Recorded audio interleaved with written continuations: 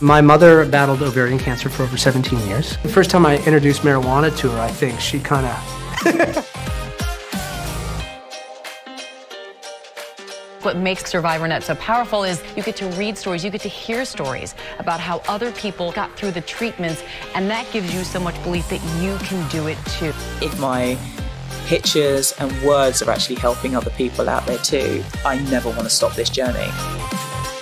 Hi everybody, this is comedian Maz Jobrani. Yeah, what's up? This is Treach from Naughty by Nature. This is Sophie Jaffe. This is DJ D Nice. Julia Louis Dreyfus. This is Olivia Newton-John. Three to five hours of exercise every week reduces your risk for heart disease, cancer, Alzheimer's, diabetes and depression, drops your blood pressure and you sleep better. How in the world are you supposed to adequately thank somebody that without them you wouldn't be here? Regardless of what this marathon is all about, I know I got this.